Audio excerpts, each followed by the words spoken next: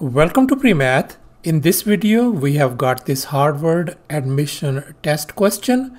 A man bought a watch, a chain, and a locket for $216.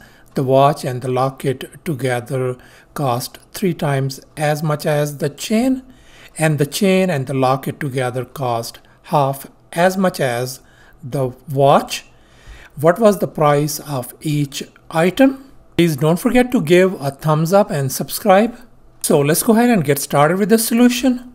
And here's the very first step. We are going to convert this uh, word problem into algebraic notation. For that one, let me go ahead and denote this watch as W, this chain as uppercase C, and likewise this locket as uppercase L. And now let's focus on this very first sentence. Watch, a chain and a locket cost $216. So therefore this can be written as in terms of W plus C plus L equals to 216. And now in this next sentence, watch and locket together cost three times as much as the chain so therefore this could be written as W plus L equals to 3C. And finally, chain and locket together cost half as much as the watch. Therefore this could be converted as C plus L equals to a half of W. And now we are going to solve for W, C, and L. Now let me go ahead and call this very first equation as equation number one, this second as equation number two, and finally this as equation three. And here's our next step. Let's focus on this equation one.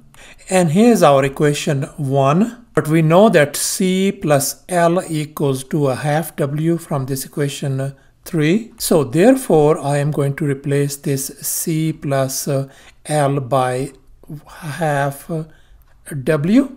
So therefore this equation could be written as W plus a half uh, W equals to 216. And now let's focus on this left hand side of this equation.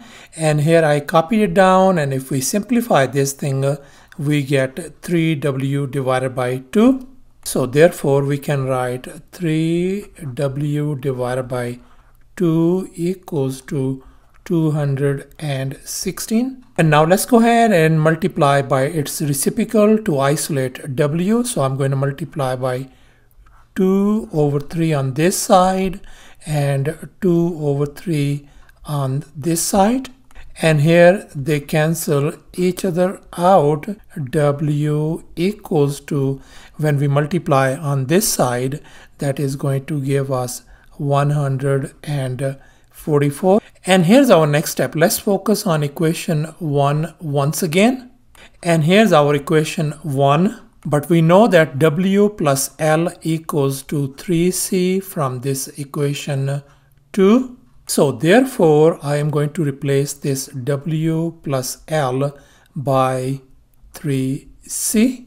So therefore, our this equation is going to become 3C plus C equals to 216 and that is going to give us 4C equals to 216 and now let's divide both sides by 4 so therefore our C value turns out to be 54.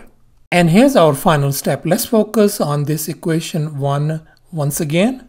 And here's our equation 1 and in the previous steps we figured out our W value as 144, C as 54 and now we are going to figure out the value of L.